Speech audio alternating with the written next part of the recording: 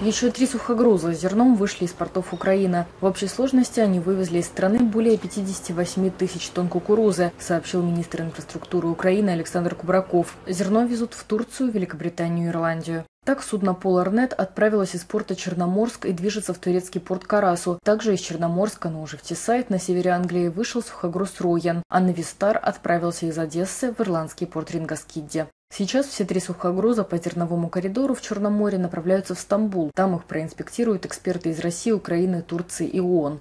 В среду похожую инспекцию прошло первое перевозящее зерно судно «Разоня». После проверки в Стамбуле сухогруз под флагом Сьерра-Леона отправился в пункт назначения – порт Триполи в Ливане. До прошлой недели украинское зерно оставалось заблокированным в портах, что вызвало глобальный продовольственный кризис. Соглашение, которое Москва и Киев подписали с Анкарой и ООН в конце июля, позволило вывести продукцию из Украины. Россия обязалась не атаковать украинские порты и сухогрузы зерном, а в Стамбуле был создан координационный центр, который контролирует процесс.